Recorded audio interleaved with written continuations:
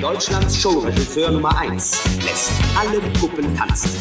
Ein Psychospiel mit Schock. Das neue Meisterwerk eines deutschen Spitzenregisseurs. Ein Wirbel der guten Laune. Ein Film reich an Atmosphäre und Eigenart. Ein Meisterwerk. Demnächst in diesem Theater. Ja, wir sind wieder da mit einer neuen Folge der Rückblende. Hallo Marius, schön, dass du auch wieder mit dabei bist. Äh, wir stehen ja noch so ein bisschen ähm, unter dem Eindruck eines Films, der vor kurzem angelaufen ist, nämlich die Fortsetzung Top Gun, äh, wieder mit Tom Cruise, wie damals 1986, der Klassiker. Und um den soll es heute natürlich gehen. Ne? Genau. Vorrangig, wir sind ja hier der Retro-Podcast, sprechen wir natürlich über den Film aus den 80er Jahren, aber da wir den beide den Film auch schon im Kino haben sichten können, den neuen Teil Top Gun Maverick, werden wir natürlich im Verlaufe unserer Podcast-Folge auch auf den neuen Teil nochmal ausführlich zu sprechen kommen. Aber wie gesagt, schwerpunktmäßig geht's heute um den Film von 1986, der mit vollem Titel in Deutschland hieß Top Gun, Sie fürchten weder Tod noch Teufel. Wieder so ein wunderschöner Untertitel. Und ja, der hatte folgenden Inhalt natürlich. Es geht um den Lieutenant Pete Mitchell, genannt Maverick, gespielt natürlich von Tom Cruise und seinen Co-Piloten Goose, die werden an eine Kampfpilotenschule der US Navy mit dem Namen Top Gun abkommandiert ja, und der ehrgeizige Maverick hat von Beginn an den Anspruch für sich, der beste Flugschüler an dieser Schule zu sein. Und dabei gerät er dann schnell mit, den, mit dem ebenso ambitionierten Kollegen Iceman, wiederum gespielt von Val Kilmer, aneinander. Ja, und nachdem Maverick dann auch alsbald das Herz der attraktiven Ausbilderin Charlie, das ist Kelly McGillis, erobert hat, scheint es irgendwie für ihn total gut zu laufen. Der Start ist geglückt. Doch dann äh, kommt es dazu, dass sein Kumpel Goose, also sein Co-Pilot, bei einem gemeinsamen Einsatz ums Leben kommt und ja, dadurch gerät Mavericks Welt dann eben doch so ein bisschen ins Wanken. Genau, und da wollen wir natürlich gleich auch noch genauer drüber sprechen, wenn wir gerade die Figuren ein bisschen beleuchten und was es dann für Szenen in dem Film noch äh, gibt. In guter Tradition wollen wir natürlich am An Anfang ein bisschen über das Genre reden und klar, wenn man jetzt irgendwo äh, die DVD ähm, irgendwo im äh, Mediamarkt oder Saturn äh, äh, sucht, so, dann steht die unter Actionfilm, ne? Ähm, aber wie immer kann man hier ja auch noch mal ein bisschen ins Detail gehen. Ähm, nämlich, was ist es für ein Actionfilm? Äh, Actionfilm bedeutet immer visuelles Spektakel, so das haben wir hier natürlich auch äh, durch eben so spektakuläre Kampfjet-Szenen und das vereint ja eigentlich zwei typische Genrezutaten, äh, weil nämlich der Kampfjet natürlich einerseits eine Waffe ist. Viel wichtiger aber noch hier, ähm, der Jet ist ein rasantes Fortbewegungsmittel. Ne? Und ähm, da gibt's ja verschiedenste Wege ähm, zu Wasser äh, auf der Straße, ähm, wo man irgendwie Fortbewegungsmittel in so einem Film auch einsetzen kann. Wir hatten ja hier schon Steve McQueen oder Burt Reynolds auch zum äh, Thema, eigentlich so zwei Racing-Spezialisten, Autonarren ähm, oder äh, wenn man jetzt gerade also an Actionfilme denkt, 1994 Speed, Keanu Reeves, Sandra Bullock im Bus unterwegs, also selbst so einen normalen, doch etwas ja, ähm, langsameren Bus eigentlich denkt man, kann man total spannend inszenieren. Aber hier ist es dann eben in die Luft gegangen. Ne? Ja, genau. Und äh, deswegen so meine Assoziation bei Top Gun ist natürlich neben Actionfilm auch immer so ein wenig ja Flieger oder Sportfilm. Und da wiederum, wenn ich so an diese Kategorie denke, fällt mir so als erstes auch immer die Quacksfilme mit äh, Heinz Rühmann ein, über die wir ja schon mal im Kontext von der Feuerzangenbowle auch kurz gesprochen haben. Das war so Anfang, Mitte der 40er Jahre natürlich dann bereits. Und unmittelbar eigentlich im Kontext von Top Gun ist ja parallel noch eine andere ja, Flieger-Action-Reihe entstanden. Das war nämlich die Reihe um die stählernen Adler, ähm, allen voran Louis Gossett Jr., der da die Hauptfigur verkörpert hat. Das ging auch 1986, also im gleichen Jahr los und ging dann bis Mitte der 90er Jahre. Und äh, vor allem auch Teil 1 hatten wir, glaube ich, auch am Rande schon mal erwähnt, ist ja inszeniert worden von Sidney Fury, dem Regisseur von Ipcris. Das hatten wir hier im Podcast auch schon mal im Programm. Und ja, bei diesen Filmen, wenn es so um Flieger, Action, Sport äh, Filme geht, das ist ja auch immer so ein Kräftemessen junger Männer, die dann eben so alles dran setzen, der beste Sportler ihrer Disziplin oder eben der beste Pilot zu sein zu wollen. Ne? Ja, also was für ein Bogen direkt hier zu Anfang geschlagen, ne? bis hin zu den äh, Quacks-Filmen mit Heinz Rühmann äh, aus den äh, 40er Jahren. Aber klar, ne? also auch damals äh, zu dem Zeitpunkt äh, waren die Flieger tollkühne Helden und das äh, war dann eben in den 80er Jahren hier bei dieser ja, aus heutiger Sicht der 80er Jahre Granate Top Gun dann irgendwie auch nicht anders. Ähm, es gibt natürlich abseits der Action noch so ein paar erzählerische Konflikte, ähm, die es dann auch gibt. Es gibt durchaus so ja, ähm, ähm, innere Konflikte bei der Filmfigur Pete Maverick. Ähm, also Pete genannt Maverick, äh, die, die Filmfigur, äh, die Tom Cruise da spielt. Mm, das ist dann so ein bisschen dramatisch, äh, vielleicht fast ein bisschen viel gesagt, wenn man jetzt sagt, es hat so Ansätze einer Coming äh, of Age äh, von so einem Coming-of-Age-Drama, aber es geht auf jeden Fall so um das Erwachsenwerden der Figur. Sie wirkt ja noch nicht sehr erwachsen in vielen äh, Teilen, ne? Nee, nicht unbedingt. Und deswegen hat das, finde ich, auch teilweise so die manches, die eine oder andere Szene so Züge auch aus so einer College-Komödie, wie wir es ja auch dann etwa auch aus den 80ern kennen, aber auch dann vielleicht sogar aus den 90ern noch. Wenn ich so an diese Szenen relativ im ersten Drittel noch denke, wo dann äh, Maverick und Goose da in ja, Uniform diese Bader aufsuchen oder auch diese ganzen Szenen immer in den Umkleidekabinen oder im Unterricht, wenn dann da irgendwelche äh, Scherze gemacht werden und die anderen sich und, und, sich die ganzen Schüler gegenseitig aufziehen oder auch diese, da kommen wir ja auch später noch mal kurz zu wahrscheinlich, diese ähm, ja fast schon legendäre Beachvolleyball-Szene da. Ähm, ja, das ist so alles äh, so, so ja, Szenen, die, die könnten auch einfach in, einem, in einer College-Komödie, finde ich, eins zu eins äh, untergebracht werden. Ja, und auch in der College-Komödie gibt's ja nicht selten dann noch so eine Romanze, die fehlt natürlich auch hier nicht, denn ähm, ja, da läuft was zwischen Pete und äh, Charlie, die ja hier gespielt wird von Kelly McGillis, ähm, der weiblichen Hauptdarstellerin und ja, also sowohl diese dramatischen inneren Konflikte von Pete als auch diese Romanze ist jetzt natürlich im Zuge hier von, einer, von so einem ja, sehr actionreichen Film natürlich eher äh, dünn angelegt, ist aber ja auch nicht das entscheidende Kriterium jetzt ähm, für, für so einen Actionfilm hier. Ne? Aber es, es führt vielleicht hier und da auch äh, zu dem einen oder anderen Schmunzler, diese Konflikte, da kommen wir dann sicherlich auch äh, nochmal zu. Ja, genau. Und äh, was man natürlich auch äh, anbringen muss, wenn wir hier über Top Gun und äh, Stichwort Action, Flieger-Action sprechen, auch der Vorwurf, der natürlich immer gerne im Raum steht, der Militärpropaganda, das hat er ja auch im Übrigen mit anderen Filmen wie Quacks oder Stillernde Adler gemein oder auch natürlich ein ganz extremes Beispiel hätte man eben auch vielleicht schon nennen können, so ein Film wie Junge Adler mit Hardy Krüger, das war ja letztlich auch äh, ja ganz äh, reine Militärpropaganda. Ähm, aber hier bei Top Gun ist es eben auch immer wieder ein Punkt, der äh, diskutiert wird. Und da hat ähm, Tom Cruise aber seinerzeit äh, ja vehement widersprochen, hat gesagt, nein, das hat nichts mit Rambo, Reagan oder irgendeiner Kriegstreiberei zu tun. Äh, ich will hier auch keinen Propagandafilm drehen. Das ist ein Film, der handelt auch nicht von der F-14, das ist ja dieses Flugzeug, da kommen wir auch später noch näher zu, sondern er handelt von Männern, die diese F-14 fliegen. Diese Typen, die gehen da rauf in die Luft und es ist furchterregend. Sie sitzen nicht da und hoffen etwa auf einen Krieg. Sie lieben das Fliegen.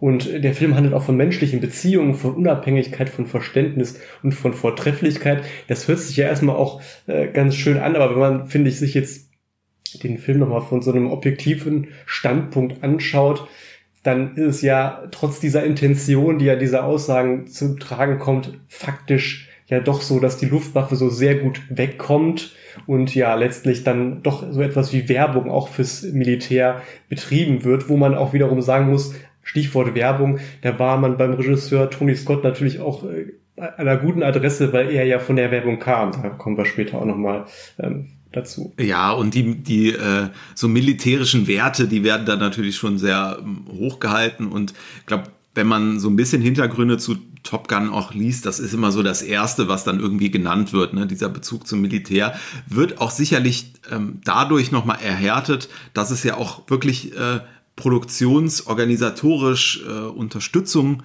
gab eben. Ähm, also man hat eine gewisse Summe auch an das Pentagon bezahlt, aber in Anführungsstrichen nur 1,8 Millionen für die Verwendung von Flugzeugen und Flugzeugträgern. So, da kann man sich vorstellen, so das ist für unser 1,8 Millionen eine große Summe.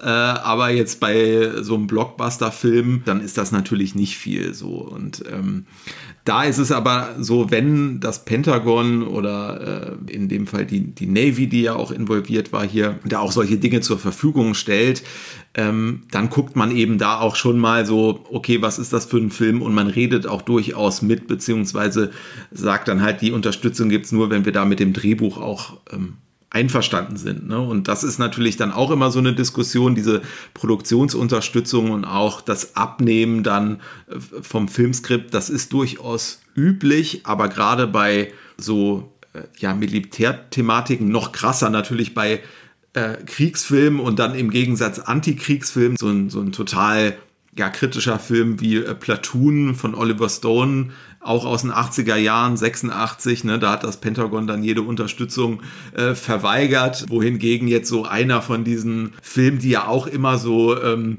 genannt werden, wenn es um so eine ja ganz positive äh, Darstellung von, äh, von so Militär ähm, und, und äh, historischen Begebenheiten dann gibt, Pearl Harbor ne, von 2001 äh, von, von Michael Bay, also da gab es auch die ein oder andere Drehbuchänderung, die dann so ähm, durchgesetzt wurde im Tausch eben gegen, gegen das zur Verfügung stellen von, von irgendwelchen militärischen Einrichtungen und, und dergleichen. Also hier hat auf jeden Fall das Pentagon und auch die Navy das Drehbuch geprüft und ja, dadurch ist eben auch ja, diese Kritik dann sicherlich auch an der Stelle immer äh, zu hören. Man äh, hat das neumodische Wort Militainment da ja auch mal erfunden. Ne? Und ja, das, das, das nimmt man natürlich in diesem ähm, Film dann schon wahr. Ne? Also wenn es dann zum Beispiel auch um den äh, tragischen Fall von Goose dann äh, geht, so da ist ja auch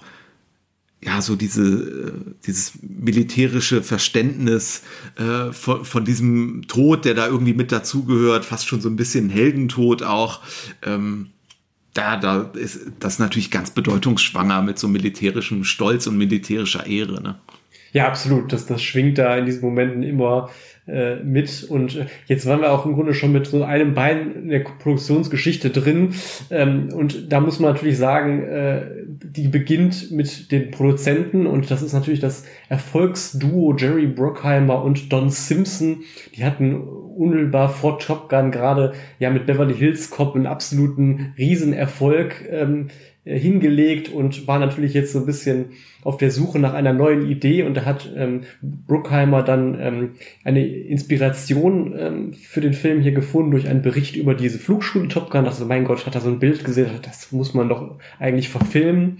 Und jetzt würde man denken, okay, gerade nach so einem Riesenerfolg wie Beverly Hills Cop, äh, da liegt das Studio den Produzenten eh zu Füßen und die haben da so eine Art Carte Blanche und können machen, was sie wollen, aber so war es gar nicht. Also gerade bei Paramount war man da erstmal skeptisch, äh, ob man das denn so äh, finanzieren möchte, so ein Projekt. Und erst ein Wechsel im Management hat dann dazu geführt, dass man dann doch überhaupt grünes Licht bekam zu den Bedingungen. Und Skepsis ähm, ähm, kam der Produktion auch zunächst mal von der Navy entgegen, wo er jetzt auch im Nachhinein denkt, mein Gott, das war auch die beste Werbung, da haben sie im Zweifel auch offene Türen eingerannt, aber auch das war nicht so, sondern äh, man war sich da erstmal gar nicht so sicher, ob, ob das so eine Win-Win-Situation überhaupt ist. Aber äh, im Laufe der Zeit hat man dann doch eben diese Vermarktungschancen gesehen, was die sich dann ja auch absolut realisiert haben, muss man sagen. Also der hat ja der Film zum absoluten Boom beim Militär ähm, geführt. Ich habe irgendwo gelesen, also 500 Prozent äh, Anstieg hat es da gegeben, was wiederum aber auch nicht nur der Film an sich oder die reine Filmwirkung war, sondern die Navy hat das dann wohl auch dann durchaus genutzt, um da vor den Kinos mal so mobile Rekrutierungsbüros äh, aufzustellen, so nach dem Motto, wenn die Leute so gerade so beeindruckt aus dem Film kommen und noch berauscht von den Bildern, vielleicht lässt sich der eine oder andere dann noch breitschlagen. Und das hat ja auch so ein bisschen dazu geführt, dass das Militär wieder so als cool oder gesellschaftsfähig galt. Ne? Ja, also der, der Film äh, war da einfach ähm, top modern, hat absolut den Nerv der Zeit getroffen und da hat das Militär natürlich dann einfach von profitiert, ne? wo ja die, die zurückliegenden Jahre New Hollywood, da ist man ja eher wieder ganz kritisch äh, umgegangen mit der jüngeren Militärvergangenheit dann der USA. Ähm, hier ähm, war das dann äh, wieder cool und Ja, der Regisseur, der es inszeniert hat, du hast eben schon gesagt, er hatte eine Werbefilm-Vergangenheit. Und da kann ich nur jedem, der sich da interessiert, mal ans Herz legen, bei, bei YouTube ähm, den Saab-Werbespot von Tony Scott äh, zu suchen. Ähm, denn der war sozusagen Auslöser, dass man auf ihn aufmerksam geworden ist. Und wenn man den Film kennt, ist das wirklich sehr interessant, sich diesen Spot mal anzuschauen, denn da hat er eben auch schon so ähm, Fliegeraufnahmen mit so einem Kampfjet gemacht. Es ist halt da so, dass dieser Saab da so ein bisschen inszeniert wird mit so einer Parallelmontage. Man sieht immer das Auto, man sieht dann immer diesen Jet und da soll jetzt natürlich irgendwie dieses, dieses Auto dann im Zuge dieses kurzen Spots so auf eine Ebene mit diesem Jet äh, gehoben werden. Der Saab war dann den Filmverantwortlichen hier letztlich egal, aber Tony Scott hatte eben da auch schon so ein bisschen, ja, sehr schöne Beauty-Shots von diesem Jet äh, hergestellt. Mhm, durchaus sehr atmosphärisch. Ne? Und da hat man eben gesagt, Mensch, genau so einen bräuchten wir doch, um irgendwie diese Jet-Szenen in diesem Film hier zu inszenieren.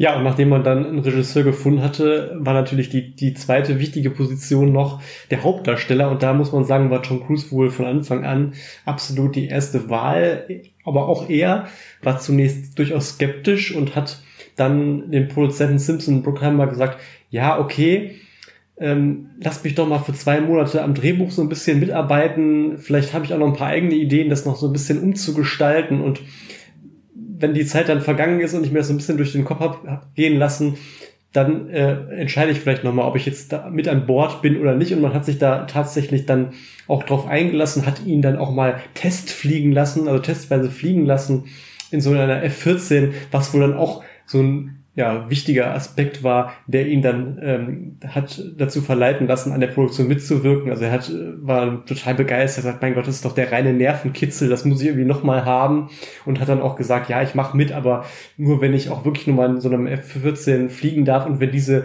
dieses Material von mir dann auch im fertigen Film landet, weil das eben dann auch zur Authentizität natürlich ähm, beiträgt. Und ähm, ja, er hat dann diese Produktion eben auch für sich genutzt, um so von Bruckheimer und Simpson, die ja wirklich so die Superproduzenten damals waren, ähm, von denen so auch Einblicke generell ins Filmbusiness zu bekommen und ähm, ja, für sich da so ein bisschen auch von Film hinter den Kulissen nochmal zu lernen und war dann auch in der Vorproduktion schon eng in die ganze Gestaltung ein, ähm, eingebunden, hat viel mit Bruckheimer Simpson und auch Tony Scott schon zusammengewirkt und da so die ersten Schritte mitgemacht, die dann ja auch am Ende dazu führten, dass man ein erfolgreiches Endprodukt dem Publikum präsentieren konnte. Und ja, was dann auch ein wesentlicher Teil der Produktion äh, natürlich war, ähm, Tom Cruise hatte ja schon im Vorfeld diese, diesen Testflug gemacht, aber sowohl er als auch die anderen ähm, äh, Schauspieler, die ähm, da äh, Top Gun-Piloten spielen sollten, haben natürlich professionelle Trainings absolviert, haben, waren in Simulatoren äh, etwa ähm, drin, um sich da so ein bisschen an das Gefühl ähm, ähm, zu gewöhnen. Und ähm, ja, dann hat man sich natürlich auch von Produktionsseite logischerweise, wie man es bei diesen Produktionen dieser Größenordnung natürlich immer macht, technische Berater ähm, zu Rate äh, gezogen. Und äh, das fand ich auch nochmal ganz witzig. Das kam dann in dem Making-of zum Ausdruck, äh, wo der, der Betreffende dann eben auch gesagt hat, dass er dann schon doch sehr verwundert war, so über die eine oder andere Szene und dann auch immer mal so gesagt hat, so, hm, Leute, dieser, auch dieser Unterricht von diesen Top Gun-Piloten da im Hangar vor so einem, vor so einem riesen Jet, äh, muss das denn sein? Hier wie bei Top Gun haben wir doch extra Klassenräume für, was soll das? Und auch diese ganzen Duschszenen dann immer. Ja, wenn man es dann nur mal so hört, dann, dann, dann begreift man erst, wie inszeniert eigentlich diese Szene dann ist. Ja. Ne? Also die, es gibt so, dieser Unterricht findet in so einem Hangar statt und das ist dann aber auch schon eingeführt mit so einer, ja, fast schon ja, epischen äh, Totalen so, ne? Und der Jet steht dann genau in der Mitte äh, zentriert da im Hintergrund und wahrscheinlich weht auch noch irgendwo eine amerikanische Flagge im Hintergrund. Ich weiß es jetzt nicht, ne? Aber ähm, ähm, äh, klar, und äh, wenn man, man denkt dann gar nicht im ersten Moment so drüber nach, aber natürlich ist das eigentlich totaler Quatsch, dass ja. die da in diesem Hangar sitzen, sondern die werden normalerweise in irgendeiner, in irgendeinem dunklen Raum sitzen, so, ne? Ja, ganz genau. Und das gleiche auch mit den, mit den vielen Duschszenen, wo er auch sagt, hm, was, was soll das denn? Da hat man dann wohl gesagt, ja, gut, wir zahlen hier dem Tom Cruise irgendwie gutes Geld und dann will das Publikum, vor allem das weibliche Publikum, auch mal ein bisschen Fleisch sehen, so. Und dann hat er auch im Nachhinein gesagt, okay, ja, das hat ja auch alles seine Wirkung nicht verfehlt und zugegeben, wenn man da jetzt immer so auf mich gehört hätte, wäre es am Ende vielleicht eher so eine Militär-Doku geworden und jetzt eben nicht so der Blockbuster-Film, äh, was ja Top Gun dann im Endeffekt auch geworden ist. Was noch ganz interessant ist im Hinblick auf diese Flugaufnahmen, die ich ja eben schon äh, angesprochen hatte, also da die, die meisten Darsteller haben sich dann auch tatsächlich in so ein Jet gesetzt. Val Kilmer zum Beispiel hat es wohl abgelehnt von vornherein.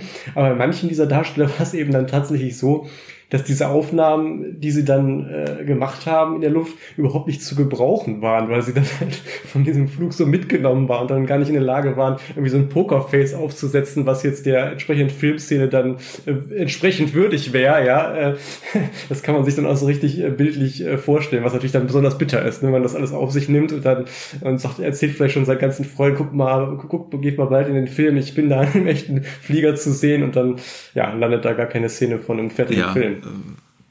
Ich kann es nur zu gut verstehen. Also wenn ich so denke, was für Gesichter ich da mache, wenn ich irgendwie auf einer äh, relativ harmlosen Achterbahn irgendwie unterwegs bin, dann wundert mich das nicht, dass die da irgendwie dann äh, vielleicht die ähm, schauspielerische Bandbreite dann äh, bei tatsächlichen äh, Jetflügen äh, in, in Überschallgeschwindigkeit ja. oder was äh, dann da leidet. Ne? Ja, und ich musste auch daran denken an diese, gibt's auch diese, diese fast schon legendären äh, ähm, Zusammenschnitt da äh, von, von Stefan Raab, Raab in Gefahr, wo er da auch so einen, so einen Testflug mitgemacht hat und dann auch seine Gesichtszüge so in alle Richtungen entglitten und äh, ja. das ist ja auch ja. schon ein ganz, ganz gutes Beispiel das war ja da wahrscheinlich noch viel heftiger, ne? insofern, ja. Stimmt. Ja, vielleicht ein paar Zahlen. Ähm, Budget 15 Millionen Dollar, das heißt, ne, ähm, Flugzeugträger und Jets gab's gab's noch zu einem günstigen Preis, aber es ist natürlich trotzdem ein Blockbuster-Movie und 15 Millionen Dollar, die wirken dann wieder ganz anders, wenn man jetzt sagt, was hat der Film eingespielt. Ne? Äh, und das sind 354 Millionen Dollar wohl weltweit, 4,2 Millionen Kinobesucher bei uns in Deutschland. Und es gab dann auch noch mal ein Re-Release, wo man noch mal ein bisschen die Technik überholt hat. Genau, dann hat man noch mal äh, den Film ja, ich denke mal in 4K restauriert und dann auch vor allem dann nochmal in äh, 3D rausgebracht in, in IMAX ähm, Theaters und äh, das hat dann auch nochmal immerhin drei Millionen ähm, zum Box Office äh, beigetragen. 2021, als ja eigentlich schon der neue Film Top Gun Maverick äh, rauskam, gab es dann auch nochmal einen weiteren Re-Release, da kam dann nochmal eine runde äh, halbe Million Dollar ähm, rum und wenn man so auch nochmal dazu kommt, was hat der Film so ausgelöst? Ich habe ja eben schon gesagt, die Navy hat natürlich einen unheimlichen Zulauf bekommen aber nicht nur sie, sondern auch, man kann es sich denken, Sonnenbrillenhersteller, weil ja Tom Cruise und Val Kilmer so gefühlt den ganzen Film irgendwelche Pilotenbrillen tragen und entsprechend ist natürlich auch der Absatz von diesen Aviator-Sonnenbrillen wohl um rund 40 Prozent angestiegen und vor allem wohl auch jene der Marke Ray-Ban, die dann ja auch dort äh, zu sehen sind. Ja, also nicht nur Steve McQueen kann hier irgendwelche Stimmt, stylischen Assets noch Thema ja berühmt schon, ja. machen. Äh, ja, ja. Ähm, ja, Tom Cruise hat gesagt, es ist kein Film über die F-14 im direkten Sinne, aber auch dieses Flugzeug, ja, ist ja ein ganz besonderes, ne? Ist irgendwie zum Symbol der militärischen Dominanz auch geworden in den USA. Ähm, und vielleicht verlieren wir noch kurz ein paar Worte über diese Flugzeuge und auch über diese Flugschule, die man da sieht. Und das ist ja auch eine ganz besondere. Also das, das Flugzeug, was hier eingesetzt wird äh, von den Piloten, ist ähm, der, der, der Jet F-14 Tomcat und das war ja der, der Nachfolger vom F-4 Phantom Jet, äh, was glaube ich auch noch von einem Kollegen da geflogen wird auf der Flugschule. Es wurde ab 1971 eingesetzt und war dann, ja, galt oder galt einerseits als top modern, als eben auch der Vorzeigejet äh, der Amerikaner. Auf der anderen Seite gab es aber auch so ein bisschen Kritik an der Wendigkeit und man machte im Vietnamkrieg die, die Erfahrung, dass es äh, einen gewissen Nachholbedarf im Luftkampf also im, im näheren Luftkampf mit diesen Luft-Luft-Raketen ne, äh, gab das, also nennt man, glaube ich, Dogfight dann irgendwie mil militärisch. Und das ist ja das, was man in diesen äh, ja, späteren Filmszenen dann auch äh, sieht. Und ja, weil es eben diesen Nachholbedarf gab, ähm, äh, nach der Meinung ähm, der Verantwortlichen damals, hat man eben so eine Elite-Flugschule ähm, gegründet, die dann auch den, den Namen Top Gun äh, letztlich äh, trug. Also die gibt es tatsächlich. Was es nicht gibt, ist diesen sowjetischen Flugzeugtyp, von dem da die Rede ist, die MiG-28. Tatsächlich gibt es eine MiG-27, es gibt auch eine MiG-29, aber 28, die gab es nicht. Da hat man dann gesagt, na gut, dann, dann greifen wir uns äh, die Nummer, die dann noch ähm, frei ist. Und jetzt ist es aber so, ein sowjetisches Flugzeug hatte äh, die Navy nicht am Start, die sie jetzt irgendwie dem Film ähm, zur Verfügung stellen konnte. Und das ist noch ganz interessant. Da hat man also einen amerikanischen F5 Jet äh, genommen und hat den einfach äh, schwarz lackiert und äh, noch einen Stern drauf geklebt und dann ja äh, musste der amerikanische Jet dann eben hier das, äh, den Flugzeugtypen MiG-28 spielen. Ja, netter äh, Fun Fact am Rande und ähm, ich würde sagen, jetzt kommen wir mal zu den tragenden Mitwirkenden mal im Einzelnen. Ähm, die, die meisten haben wir jetzt gerade schon im Verlaufe der Folge erwähnt und allen voran natürlich Regisseur Tony Scott. Manch einer wird es wissen, es ist der Bruder des ja, man muss sagen, noch berühmteren Regisseurs ähm, Ridley Scott. Also ich muss für mich sagen, dass äh, die Filme von Tony Scott mir persönlich tendenziell im Schnitt besser gefallen haben, weil Ridley Scott äh, da ist auch relativ viel dabei, was jetzt so genremäßig nicht mein Fall ist. Objektiv muss man natürlich sagen, dass Ridley Scott ähm, wohl die im, im, unterm Strich bedeutenderen Filme gemacht hat, wenn man auch so an einen Film wie Gladiator denkt oder die Alien-Filmreihe. Tony Scott stand natürlich für den, ja, vor allem optisch sehr beeindruckenden Actionfilm und da hat er natürlich ähm, ähm, seine Grundlage auch schon im Werbefilm ähm, gelegt. Da haben wir ja schon von gesprochen und sein erster Kinofilm war dann 1983 der Film Begierde. Das war ein Horrorfilm mit Catherine Deneuve und David Bowie.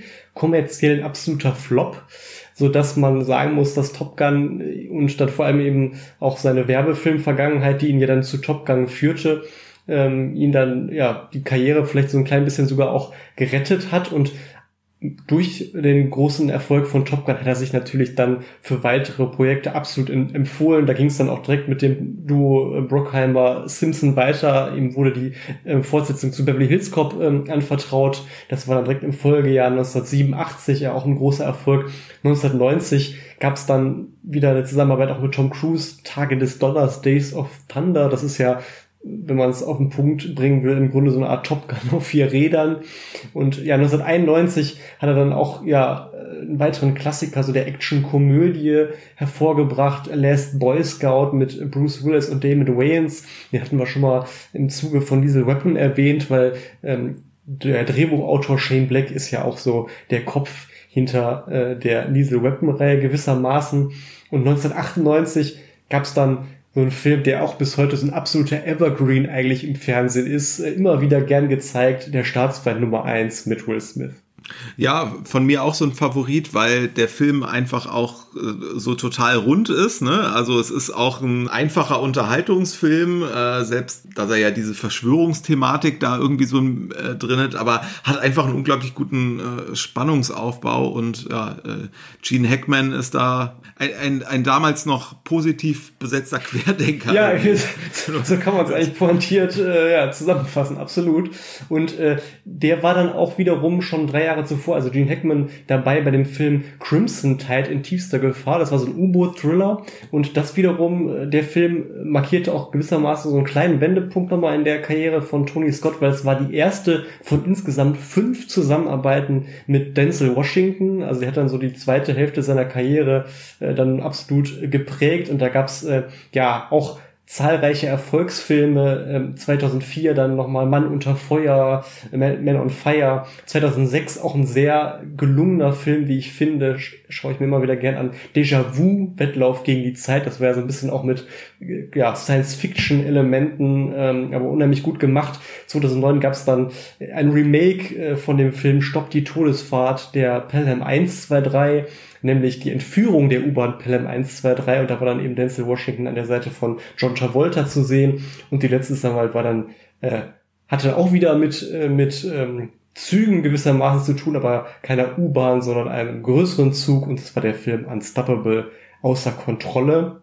Und dann muss man sagen, war er auch weiterhin in Projekte involviert, hat aber dann einen ganz plötzlichen und auch wiederum tragischen äh, Tod erfahren. Er hat sich nämlich ja 2012 ähm, ja, glaub, von der Brücke sogar gestürzt. Das ging auch ziemlich durch die äh, Gazetten, auch hier in Deutschland. Und im Nachgang hat man dann erfahren, dass er wohl eine Krebsdiagnose ähm, bekommen hatte zuvor. Ja, und ich habe es ja eben schon angedeutet, generell, wenn man heute im Rückblick an Tony Scott denkt, dann bleibt eben diese absolut ikonische Bildsprache. Er hat, glaube ich, den modernen Actionfilm, ja, vielleicht ähnlich wie Michael Bay auch durch diese seine optischen Einschläge maßgeblich geprägt und weiterentwickelt. Und das sieht man ja auch hier in dem Film, diese an der besonderen Beleuchtung, den Farbstufen und auch ja, diesen ganz ikonischen Bildern auch eine der ersten Szenen, die einem immer so einfallen, wenn man Top Gun denkt, wie dann Tom Cruise da mit dem Motorrad ähm, bei Sonnenaufgang oder Sonnenuntergang und dann vom Soundtrack untermalt dann daherfahrt. Das ist ja, wie gesagt, absolut ikonisch und teilweise hat es ja auch so eine Videoclip-Optik. Ne? Ich denke da so an diese Szene, wo es eine Art Verfolgung gibt zwischen der Tom Cruise Figur und derjenigen von Kelly McGillis, die in so einem alten Porsche eher auf dem Motorrad, der, ja, das könnte eins zu eins aus so einem Videoclip irgendwie aus den 90ern sein, finde ich. Ja, und also, der, der Weg von Videoclip ist ja dann auch wieder nicht weit zum Werbespot, also das genau. äh, schließt sich dann da äh, auch wieder an. Genau. Ja, dann auf der Seite der Schauspieler wollen wir natürlich über Tom Cruise äh, reden. Äh, ist nicht nur Hauptdarsteller, sondern er ist der Star des Films und er ist aber auch nach wie vor äh, ein absoluter Hollywood-Star. Ähm, ja, damals äh, mit diesem Film ähm, ähm, auch nochmal geworden und äh, seitdem immer geblieben, also eigentlich die letzten 40 Jahre.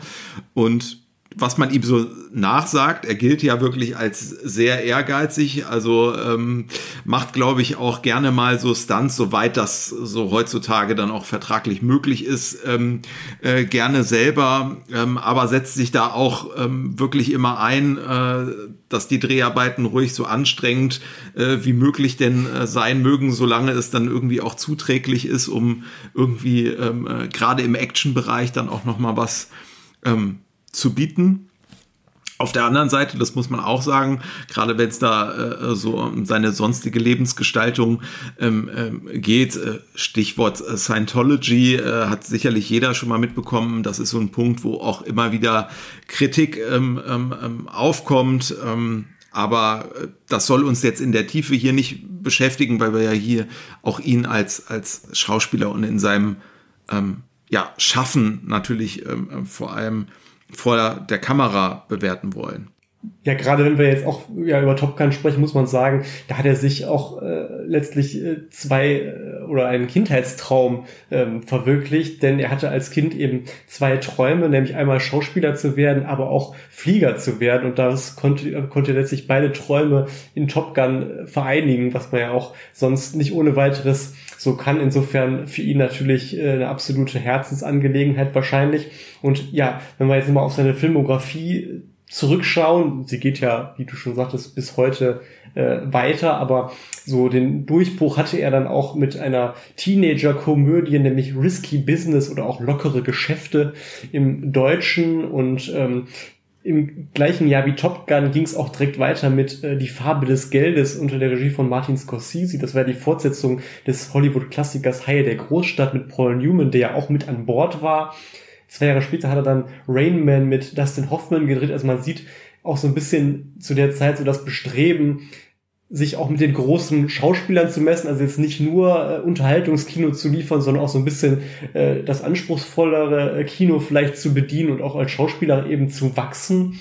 Und ja, 1993 gab es dann den Justiz-Thriller Die Firma natürlich nach äh, John Grisham und ab 96 startete dann die Franchise, mit der man Tom Cruise heute am ehesten äh, verbindet. Die Rede ist natürlich von Mission Impossible, was ja eine Neuauflage auch einer sehr erfolgreichen Fernsehserie war, die im Deutschen nicht Mission Impossible heißt, sondern Cobra übernehmen sie. Ja, also da werden wahrscheinlich also viele Menschen, die jetzt irgendwie so äh, dann mit der Mission Impossible Kinoreihe auf gewachsen sind, äh, die werden das gar nicht mehr wissen wahrscheinlich, ne? Dass äh, nee, Cobra übernehmen sie tatsächlich da nochmal eine ja doch Serie mit einigen Folgen auch im Hintergrund äh, steht, die ja, genau, eigentlich also, das Original ist, ne?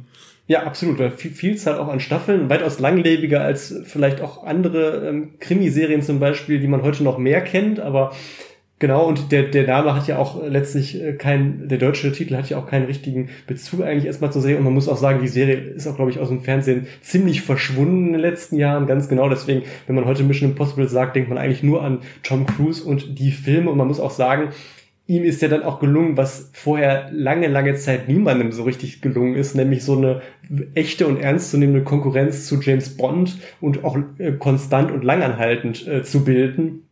Denn man muss ja sagen, äh, die Mission Possible Reihe natürlich alle Filme absolut erfolgreich, aber auch sehr, sehr hochwertig, was ja auch am Anfang gerade auch so ein bisschen dadurch verwirklicht wurde, dass man wirklich auch jedem Film von einem anderen Regisseur hat inszenieren lassen, die dann immer so nochmal einen anderen Zugang auch zu dieser Reihe hatten, immer den nochmal neuen Dreh gegeben haben. Dann Parallele zu, Parallele zu Bond ist natürlich einerseits das ikonische Titelthema. Das gab es übrigens ja auch schon genauso in der Ursprungsserie von Lalo Schifrin, einem bekannten Komponisten. Die exotischen Schauplätze äh, gibt's auch ebenso wie bei Bond natürlich grandiose Action-Szenen. Da muss ich sogar sagen, wenn man jetzt so die Zeit ab Mitte der 90er nimmt und da mal die James Bond-Filme daneben legt, dann waren jetzt gerade jetzt wahrscheinlich in, zuletzt die Mission Impossible-Filme da sogar noch spektakulärer und ziemlich parallel zu Top Gun hat äh, Tom Cruise dann auch wieder äh, neue Filme der Mission Impossible-Reihe gedreht. Da ist so nochmal zum krönen Abschluss, denn auch Tom Cruise, muss man sagen, wird ja nicht jünger.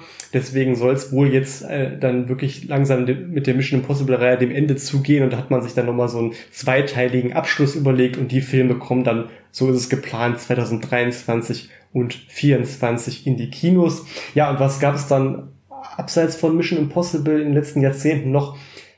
Nochmal genremäßig was ganz anderes. Der Film Ice White Shut, das wäre so eine Adaption der Traumnovelle von Arthur Schnitzler. Der eine oder andere durfte oder musste es vielleicht in der Schule ähm, lesen. Das ist eine typische Schullektüre und es war auch zugleich der letzte Film von Stanley Kubrick, ja auch absolute Regie-Ikone und auch ähm, eine weitere Zusammenarbeit des damaligen ja auch Traumpaars von Hollywood, muss man sagen, denn er war ja einige Jahre mit Nicole Kidman ähm, zusammen. Die beiden hatten ja auch zusammen Tage des Donners schon gedreht. Und 2004 ähm, kam es dann zu einem Film, der auch nach wie vor ähm, so stilistisch für mich so einer der stärksten Thriller der letzten 20 Jahre im Grunde ist, äh, Collateral von Michael Mann. Ja, ganz toller Film und äh, ich erinnere mich auch also erstens erinnere ich mich, äh, ich habe ihn auch im Kino gesehen und war auch echt ähm, überzeugt. Und ich erinnere mich eben auch, dass man auch in der Presse damals schon so ein bisschen gesagt hat, ah, da spielt Tom Cruise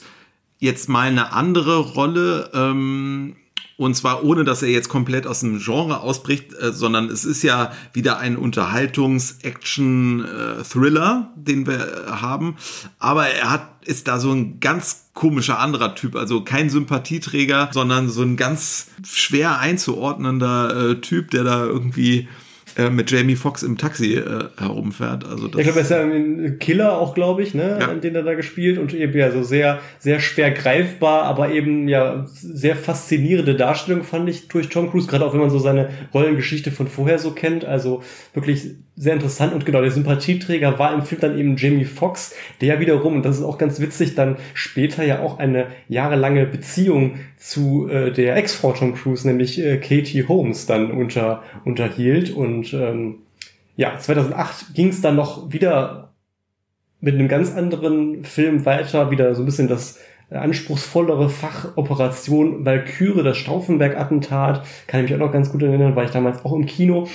Aber man muss sagen, das war auch so ein bisschen so eine Zeit, wo es so die Karriere so einen kleinen Knick, Knick nahm, so ich sag mal so grob 2007 bis 2011. Man dachte so, ah, die ganz große Zeit von Tom Cruise ist irgendwie vorbei. Die, die Riesenmassen, wie jetzt vielleicht in den 80er, 90ern, kriegt er nicht mehr so an die Kassen. Ich glaube 2006 hatte dann ja Paramount auch eine langjährige Zusammenarbeit erstmal so aufgekündigt.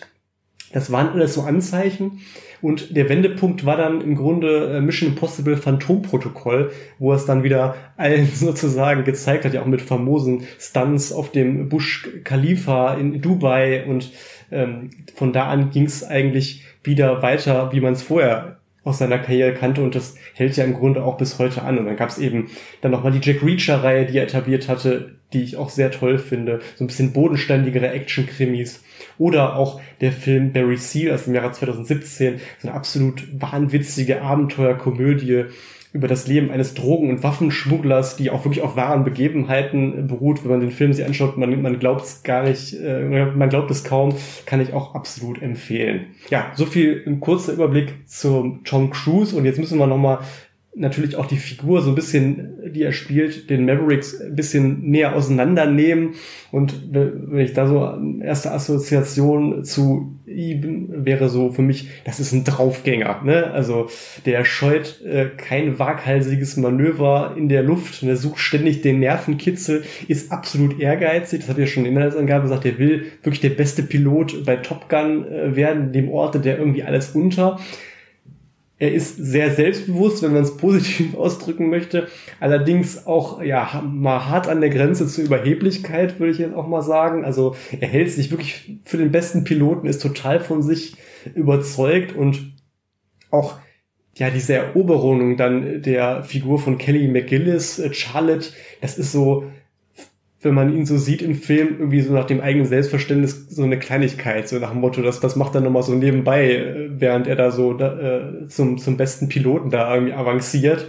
Und entsprechend überheblich tritt er dann ja auch gegenüber auf. Da sind ja dann auch diese Szenen in der Bar, wo er sie ja ziemlich plump irgendwie anbaggert und ähm, ja, was auch, finde ich, äh, so ein bisschen zum Schmunzeln einlädt, ist ja wirklich dieses breit aufgesetzte, ja fast schon Signaturgrinsen, was da Tom Cruise permanent aufsetzt und dann gern noch da irgendwie mit, mit Sonnenbrille und Kaugummi kauenderweise. Also das ist schon, ähm, ja, äh, muss man äh, durchaus äh, schmunzeln. Ja, also kann ich äh, nur total einsteigen in, in, in das Lied, äh, dass du da auf diese Figur hier singst. Es ist auch genau mein Eindruck. Ne? Also ähm, die Figur Maverick, die wird ja ohne Umschweife als natürlich Held erstmal gezeichnet, weil ganz am Anfang äh, des Films die äh, ersten Fliegerszenen, mh, hm, da setzt der Maverick ja sein, sein Leben aufs Spiel, um einen Kollegen äh, ja quasi zu retten, der da so ein Blackout ähm, hat nach dieser, nach diesem doch sehr aufregenden Einsatz, wo eben dieser, dieser sowjetischen MiG äh, begegnet wird. Und er macht aber ja dann auch so das ein oder andere Spirenzchen. Das heißt, man kriegt ja dann mit, äh, der wird da so ein bisschen verwarnt, aber auch nicht zum ersten Mal. Und deswegen, ja, Draufgänger, ne? Oder ich hatte mir hier so Typ liebenswürdiger Troublemaker ja, äh, auch äh, notiert, ne? Und äh, es wird ja dann auch seine Personalakte zitiert, wo es unter anderem heißt, er hätte die, ähm, die Tochter vom Admiral angebumst, ähm, was auch immer das äh, so genau zu bedeuten hat. Man muss dann aber sagen, diese Szenen nach Ankunft in dieser Elite-Schule, also bei Top Gun, hm, da ist dann so der Sympathiefaktor dann doch mehr und mehr so wirklich auf dünnem Eis, also liebenswürdig ja, aber äh, äh es ist dann kurz davor, so ein bisschen zu kippen, ne? weil er ist eben so grenzenlos von sich selber überzeugt, sei es jetzt als Pilot oder auch in seiner, in seiner Wirkung auf Frauen, von der er total überzeugt ist und sag mal, diese Gesang Gesangsnummer da im Club, ja, da muss dein Selbstbewusstsein schon über alle Maßen groß sein. Und spätestens als er dann da Charlie wirklich äh, noch, um weiter zu baggern, auf die Damentoilette ähm, ja.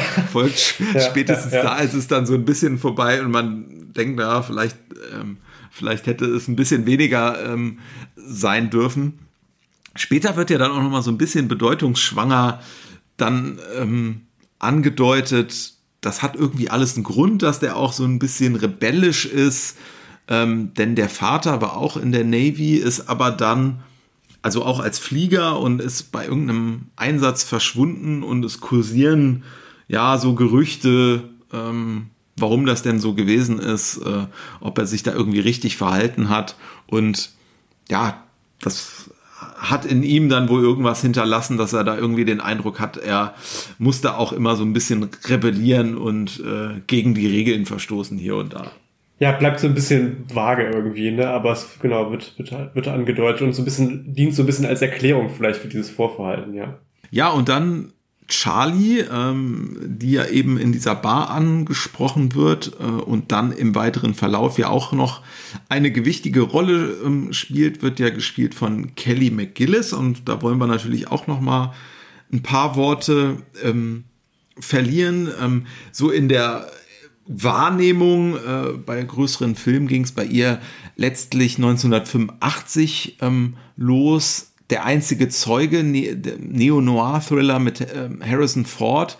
Mm, da hat sie eine Golden Globe-Nominierung auch für ihre Nebenrolle da ähm, bekommen. Und das ist sicherlich, mh, mm, ja, neben, neben Top Gun ähm, so ein Film, der jetzt äh, wirklich auch heute noch sehr prominent ist. Top Gun war aber dann eher wirklich der Film, wo man sagen kann, das war so ihr, ihr Durchbruch. Mm, dadurch ist sie populär geworden. Auch äh, dann ganz kurios finde ich ja immer, man kann ja immer so nachlesen, wer dann zu welcher Zeit auch ähm, den berühmt-berüchtigten Bravo Otto, ja, also ein ganz, ganz gewichtiger ähm, äh, Preis. Aber er sagt natürlich aus, wer war wirklich populär, ne? Und ähm, Kelly McGillis hat ab 1986 dann, also hier zur Top Gun-Zeit, zwei Jahre am Stück den Bravo Otto als beste Schauspielerin bekommen. Das ist ja, glaube ich, immer eine Leserwahl.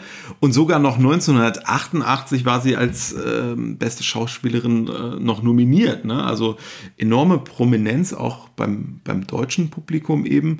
Ja, und im weiteren Verlauf, ähm, sie ist lange noch aktiv gewesen vor der Kamera. Allerdings jetzt so ein Hit, wie es Top Gun war, ähm, der ist dann eigentlich nicht mehr gekommen. Es gibt noch interessante Stationen. Äh, 1988 äh, so ein Neo-Noir, ähm, ja, mit ähm, Jeff Daniels in der Hauptrolle Das Haus in der Carroll Street.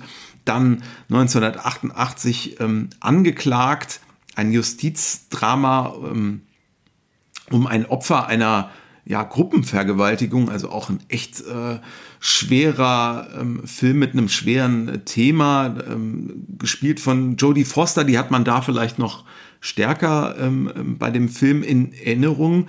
Äh, die Kelly McGillis spielt hier die Staatsanwältin und zuerst war es wohl so, dass sie den Part von Jodie Foster übernehmen ähm, sollte, hm, für den Jodie Foster, glaube ich, mit, mit Preisen dann auch ähm, hoch und runter ausgezeichnet ähm, werden sollte noch. Allerdings hat Kelly McGillis diesen äh, Part abgelehnt, äh, weil sie ähm, im Zuge oder zu dieser Zeit dann auch ähm, äh, ja, öffentlich machte, dass sie 1982, also ein paar Jahre vor Top Gun selber mal ähm, Opfer einer Vergewaltigung wurde. Also wenn man da so 86 dann ja die, die schillernde Kelly McGillis da in diesem Film sieht ne? Ähm, und dann wieder sowas äh, liest und hört, dann äh, weiß man, also ja, im, im, im Hintergrund ähm, war das in ihrem Leben dann wohl auch nicht immer ganz so einfach. Nichtsdestotrotz hat sie sich da nicht äh, davon abbringen lassen, dann eben noch eine längere Karriere ähm, ja, ähm, im, im, Fernsehen, äh, in Film und Fernsehen zu machen. Allerdings wie gesagt, in den 90er Jahren war es dann mit großen Kinorollen dann nicht mehr ähm, äh, ganz so viel. Ähm, sie war in, in, Nebenrollen immer mal wieder präsent und sie hat viel im äh, Fernsehen dann auch gemacht. Mhm, aber es waren dann auch wirklich ein paar Flops bei. Also ähm, 94, der sticht vielleicht ein bisschen negativ heraus. Äh, der Film North äh, mit äh, Elijah Wood und Bruce Willis, also auch durchaus prominent besetzt. Der war nominiert für sechs goldene Himbeeren. Äh, also das ist auch meine Ansage. Wohlgemerkt war äh, Kelly McGillis jetzt nie persönlich für eine goldene Himbeere nominiert. Letztlich in der Fortsetzung jetzt ähm, von Top Gun, da findet sie nicht statt. Da hat sie dann kritisch und auch durchaus zynisch gesagt, ich bin alt und fett und sehe altersgerecht für mein Alter aus und darum geht es in Hollywood einfach nicht. Und sie liegt natürlich insofern mit der Kritik nicht verkehrt, dass natürlich jetzt äh, die Rolle, die man dann in dem neuen Film äh, sieht, natürlich auch ja äh, so sehr konform in das Hollywood-Bild äh, passt, äh, in so einem Actionfilm, wo dann wieder eine Romanze auch stattfindet. Ähm, und ähm, da ähm, hat man sie dann nicht mehr für angefragt, ja. Ja, und wenn wir jetzt zu ihrer Figur im Film kommen, das ist ja die Charlotte genannt Charlie Blackwood und da muss man sagen, auch so der erste Eindruck, die wirkt nach außen hin absolut tough, ne? Und äh, ist ja auch am Anfang erstmal recht abweisend gegenüber Maverick. Da gibt's dann so einen Dialog nach so den ersten Begegnungen, wo sie ihn fragt, sind Sie ein guter Pilot? Und er antwortet so mit Ja. Und dann sagt sie so, gut, denn als Sänger würden Sie verhungern. Das war dann so in dieser, äh, diesem Nachgang an diese Szene, wo er sie da ja mit so einer Gesangsnummer so ein bisschen äh, plump hat anbackern wollen und ähm, da merkt man also so ganz so leicht macht sie es ihm dann doch nicht, aber letzten Endes verliebt sie sich natürlich dann doch in ihren Auszubildenden, ähm, den Maverick. Was ich dann noch so ganz geschickt fand, war dann, äh, dass dann relativ, relativ früh schon so eine typische Romantikszene angetäuscht wird und diese Erwartung dann aber zunächst mal dann doch nicht erfüllt wird. Da geht er dann, dann abends einmal dann doch irgendwie noch weg, als schon so diese romantischen Töne so angespielt werden. Das fand ich so ganz gut. Dann kommt es im Endeffekt natürlich dann doch wieder zu so einer sehr, wie ich finde, sehr, sehr schwülstige Liebesszene, wo man auch dazu sagen muss, die ist erst nachträglich gedreht worden. Ähm, da gab es wohl dann ja diese, diese typischen Pre-Screenings in diversen Städten und da kam dann wohl irgendwo die Rückmeldung, ja, so eine schöne Romantikszene, die, die fehlt aber doch noch. Und da hat man dann Tom Cruise, der eigentlich schon am Set für die Farbe des Geldes war, nochmal vor einem Tag zurückgeholt und Kelly McGillis auch und hat dann eben diese, ja, wie gesagt, in meinen Augen sehr, sehr schwülstige Liebesszene noch gedreht.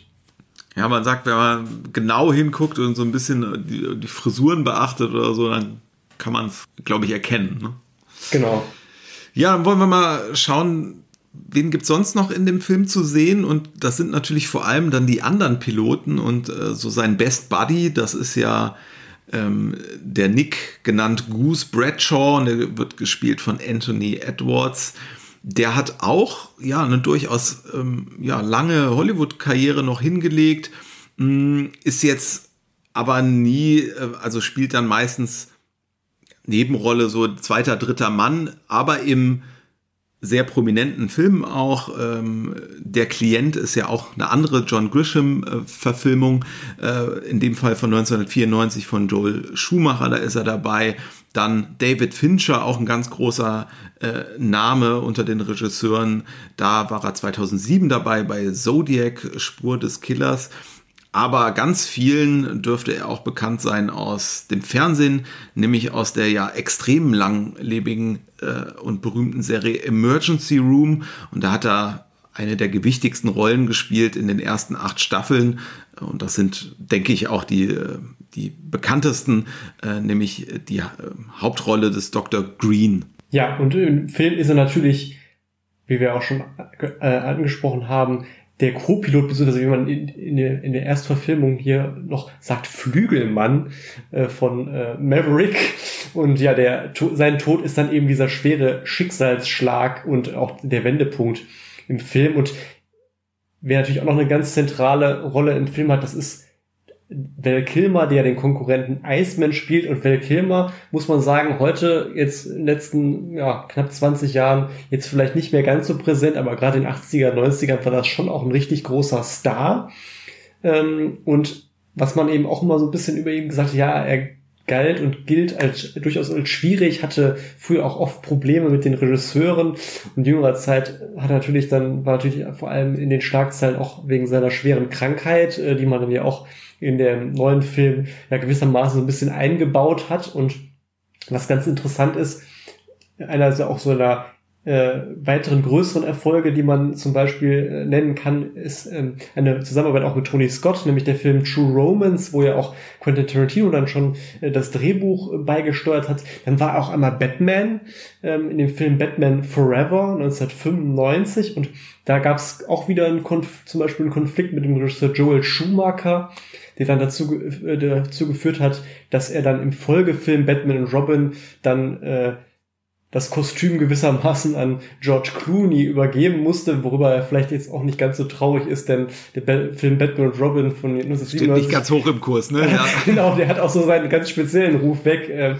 denk mal, das, das kann er wahrscheinlich versperzen. Ein Film, den er wahrscheinlich sehr gerne in seiner Filmografie wiederum hat, ist dann Heat, auch so ein ja, Meilenstein des Actionfilms, denke ich, kann man sagen. Auch wiederum Regie Michael Mann, also auch der Mann hat so das ein oder andere vorzeigwürdige Werk hervorgebracht. 1997 dann noch ganz interessant, gab es eine Neuverfilmung von der TV-Serie Simon Templar, nämlich The Saint.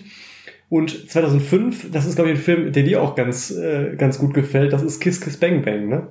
Ja, ich glaube, ich hatte ihn, äh, oder wir hatten ihn im ähm, Zuge der Lethal Weapon ähm, Besprechung angepriesen, äh, weil äh, er eben auch von Shane Black ist, der bei Lethal Weapon Drehbuchautor war, aber bei diesem Film Kiss Kiss Bang Bang dann auch sein Regiedebüt gegeben hatte. Und da spielt Val Kilmer eben auch eine sehr interessante, ähm, durchaus kuriose äh, Rolle. Ähm, kann man äh, tatsächlich auch ja, sehr zu empfehlen, der Film. Er ist nicht ganz so berühmt geworden, glaube ich, insgesamt. Ja, ist noch sowas, was man wahrscheinlich unter Geheimtipp verbuchen kann. Und dann eben noch vielleicht letzten zu nennen, weil es auch wieder eine Zusammenarbeit mit Tony Scott war, haben wir eben schon genannt, Déjà-vu. Da hat Tony Scott ihn dann auch nochmal so in einer Nebenrolle dazugeholt. Und ja, zur Figur Iceman haben wir auch schon gesagt, das ist so der Konkurrent. Das wird auch von der ersten Szene irgendwie so, ja, äh, maximal dem Publikum klar gemacht. So, das, das sind die kommenden Feinde irgendwie.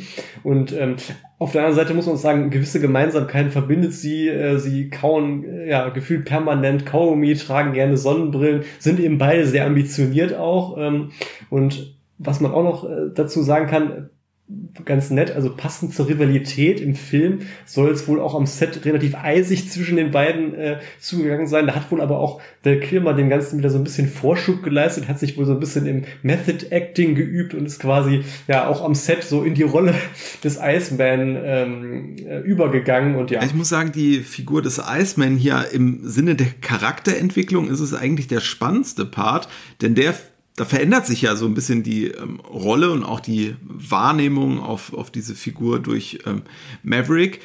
Der Iceman wird ja erstmal hier als so ein Antagonist eingeführt, habe ich das Gefühl. Ne? Also man, man kriegt einmal die Tom Cruise-Figur ähm, präsentiert, äh, was sie doch für toller Hecht ist. Aber wenn man mal überlegt, was er dann in diesem Film ähm, dem Maverick da so vorwirft, eigentlich stimmt das meistens. Ne? Also einmal so dieses unnötige Eingehen von Risiko, denkt man so, ja doch, ist doch so. Äh, und äh, kritisiert da so seine Alleingänge, auch das äh, zu Recht. Und im Laufe des Films wandelt er sich ja dann fast schon zu so einer ja, Mentorenfigur, ne? Äh, und äh, ganz am Ende gibt's ja dann irgendwie auch die gegenseitigen Respektsbekundungen oder ich glaube auch schon nach, nach dem Tod von Goose dann äh, wird dann Mitleid bekundet und äh, schließlich ähm, gratuliert dann Ma Maverick andererseits zu diesem Titel, den die ja da unter sich ausmachen. Also am Ende ähm, ist dann so das symbolische High Five gibt's dann. Die sind dann sind dann auch ein gutes Team. Ne? Ja und vielleicht noch eine Schauspielerin zu nennen hier aus dem Cast, weil es auch ein großer Name ist, Mac Ryan. Allerdings 1986 hier bei Top Gun war sie noch nicht berühmt. Ne? Das ist im Prinzip auch eine kleine Nebenrolle. Mac Ryan wurde ein paar Jahre später, 89, dann vor allem mit dem Film Harry und Sally ähm, berühmt. Das war ihr Karrieredurchbruch und dann gab es da wirklich auch eine große Karriere. Vielleicht, äh, weiß nicht, ob wir mal einen Mac Ryan-Film ha äh, haben, aber das wäre jetzt ein Anlass, dass man ihre Karriere nochmal äh, tiefer und genauer beleuchtet. Äh, machen wir jetzt in dem Fall vielleicht nicht, weil sie hier auch einen kleinen Part hat, aber es ist interessant, dass sie eben hier vor ihrem Durchbruch zu sehen ist und auch neben dieser Bar-Szene so, ein, ähm, ja, so eine Szene, die, die ein bisschen kurios ist. Nach dem Tod von Goose, sie ist ja die Witwe von, von Goose, da sitzt sie da mit diesen dann vaterlosen Kindern da und äh, Maverick äh, kommt dann rein und der Dialog, den die beiden haben, konzentriert sich halt sofort wieder auf die Fliegerei und man hat den Eindruck, eigentlich spendet sie ihm jetzt Trost äh, und baut ihn dann wieder so auf, dass er da in seinem Job weitermacht und sie sagt dann auch so, ja, ähm, er würde, er würde dich vermissen, aber er wäre weitergeflogen, wenn es andersrum gekommen wäre. Ne? So, und von ihrer Situation ist so gar keine Rede. Ja, wenn man so drüber nachdenkt, echt, äh, ja, fast schon bizarr, ne? Ja, absolut. Ja, kuriose Szene, ja. Ähm, und genau, wie, wie immer, wenn wir jetzt, nachdem wir so die wesentlichen Mitwirkenden und ihre Figuren im Film wenn wir so durchgegangen sind, nochmal auf so ein paar äh, ja, für uns gewichtige Szenen nochmal ähm, zu sprechen kommen. Und wenn ich dann so an Top Gun und diese ja, bemerkenswerten Szenen äh, denke, dann fällt mir eigentlich sofort die Eröffnungssequenz ein. Diese Bilder auf dieser Startrampe untermalt von dem Song Danger Zone, das katapultiert einen irgendwie so direkt ins Geschehen. Man ist mittendrin. Auf der anderen Seite auch hier schon irgendwie ziemliche Steilvorlagen für Parodien. Das hat man auch bei Hot Shots, dem Film von Charlie Sheen, ja auch dann dankend angenommen, wo er dann irgendwie eher auch zum Beispiel auf so einem Motorrad fährt, aber dann irgendwie so einer Tempo 15 Zone und dann irgendwie von so Stoppern gebremst wird oder auf dieser Startrampe dann äh, Leute ähm, von der von dem heißen von der heißen Luft, die da aus den Flugzeugen kommt, dann irgendwelche Grillwürstchen daran grillen und so. Also das ja, ist das schon, ist ganz fantastisch. ja. Ich glaube, zwei, zwei tragen dann irgendwie auch so eine Rakete Genau. und laufen dann mit den Raketen ja, so gegeneinander. machen irgendwelche Also äh, äh, Ratsch, Ratschläge irgendwie über die Rampe oder irgendwie so. Also das ist äh, ja ganz, ganz nett gemacht. Ja, total. Aber ne, äh, ist genau der Punkt, weil diese Parodie funktioniert dann halt auch nur, weil eben diese Originalbilder hier so ähm, berühmt äh, geworden sind und auch so ikonisch sind. Ne? Und das ist ja im Prinzip eben auch schon gesagt, der Tony Scott hatte da eben auch ein Auge für. Wir haben drüber gesprochen, er hatte diese Werbevergangenheit und das sind hier wirklich Beauty-Shots von diesen Starts, von diesen Landungen und ähm, einfach toll montiert dann auch die Bilder in der Abendsonne, ähm, wie das gegeneinander geschnitten ist, der Musikeinsatz dann auch, wie das übergeht, ne, von dieser Filmmusik dann zu Filmsong und so. Das hat man äh, schon hier echt gut gemacht. Und auch so eine Szene, die absolut berühmt geworden ist, wo ich auch immer, ja, ja, absolut schmunzeln muss und jetzt auch mal nicht so richtig weiß, was, was so damals die, die absolute Intention äh, da letztlich hinter war, ist diese Volleyball-Szene, ähm, wo ja wirklich, ja, diese komplette Top Gun-Truppe äh, da ja gefühlt mit einer Flasche Sonnen- äh, oder Sonnen- oder Babyöl auf den muskelbepackten Körpern dann so in Zeitlupe da irgendwie so ein Volleyballspiel veranstaltet, ja auch wieder so ein, so ein Kuriosum für sich irgendwie, ne? Ja, und das waren eigentlich schon die wesentlichen Elemente. Ne? Du hast das äh, im, im äh, Zuge unseres äh, Besuchs der Neuverfilmung ja so schön gesagt. Ne? Alles, was in der Luft ist, ist spektakulär und alles, was am Boden ist, so, da schmunzelt man auch mal. Da, da- das sind, glaube ich, so die ähm, zwei Felder, die man hier hat. Mm, Insofern gibt es jetzt gar nicht so viele Szenen, die man, glaube ich, nochmal benennen kann, aber es, es wiederholen sich ja dann diese Flugszenen, die gibt's ja dann, äh, gibt's ja nochmal das große Finale, dann gibt's glaube ich, im Mittelteil ähm, auch nochmal so Flugmanöver. Und ja, vielleicht verliere ich da nochmal dann zwei Sätze dazu, weil die, dieses Handwerk, ne, äh, Kombination Regie, Kamera, Schnitt, ähm, das ist wirklich gut gemacht. Da ist ja auch viel Echtes bei. Ne? Äh, Du hast eingangs gesagt, sogar die Schauspieler sind ja äh, in die Luft gegangen und zwar nicht nur, äh, weil sie sich geärgert haben, sondern auch mit den Jets. Mhm. Aber man hatte auch echt viel äh, tolles Material gedreht, ne? Und äh, zwar ohne äh, Greenscreen, ähm, also Luftaufnahmen der Manöver. Äh, man hat POV-Einstellungen, ähm, wo man äh, die Piloten dann eben äh, im Cockpit sieht. Man hat aber auch so Onboard-Kameras, die dann eben genau in die andere Richtung, wo man die Flugzeugspitze noch sieht und dann quasi onboard mit dabei ist. Und natürlich äh, diese Silhouetten dann vor dem Horizont, teilweise in der Abendsonne immer mal wieder. Ähm, das ist sicherlich das, was auch einfach in Erinnerung bleibt. Zusammen im Zusammenspiel dann eben auch mit der Musik. Und da können wir sicherlich ja auch nochmal ein paar Punkte. Genau, hier und da angeklungen ist es schon äh, maßgeblicher Aspekt auch, denke ich mal, der zum Erfolg damals äh, beigetragen hat, äh, zu diesem massiven Erfolg. Und die Musik wurde ja beigesteuert von Harold Faltermeier, äh, einem Deutschen, der dann auch ja, zeitweise in Hollywood richtig Karriere ähm, gemacht hat. Und er hatte ja schon zuvor auch mit äh, Excel F im, Zusammen im Zusammenhang mit dem großen Erfolg Beverly Hills Cop da so ein Titelthema vorgelegt, was ja auch ähm, ja jedem wahrscheinlich etwas sagt, der sich ein bisschen näher äh, mit Film beschäftigt und ja, was hat er sonst noch äh, so gemacht? Vielleicht ganz kurz, 1984 die Komödie Fletch, der Troublemaker mit Chevy Chase, dann war natürlich auch der Fortsetzung Beverly Hills Cop 2 dabei, Running Man mit Arnold Schwarzenegger, da war er für die Musikzuständigkeit äh, zuständig. Tango und Cash, das hatten wir glaube ich auch schon mal bei Liesel Weapon, ist auch eine dieser typischen Buddy-Action-Komödien mit Sylvester Stallone und Kurt Russell.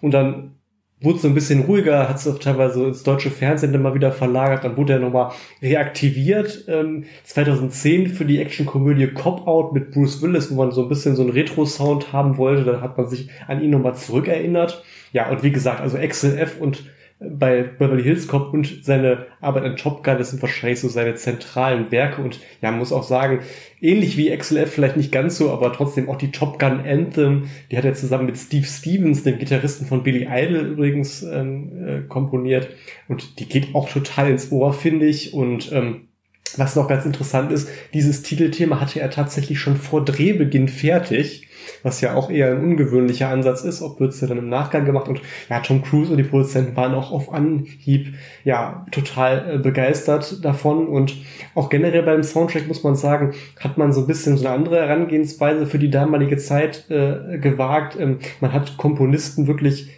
die Szenen ähm, des Films dann sichten lassen und hat dann sie entsprechende Lieder komponieren lassen. Früher war es wohl eher noch so, man hat irgendwelche Lieder gekauft, die vielleicht auch auf irgendwelchen Alben dann nicht gelandet sind, äh, übergeblieben sind von irgendwelchen Künstlern, die man dann billig bekommen konnte. Hier hat man, wie gesagt, diesen Weg eingeschlagen.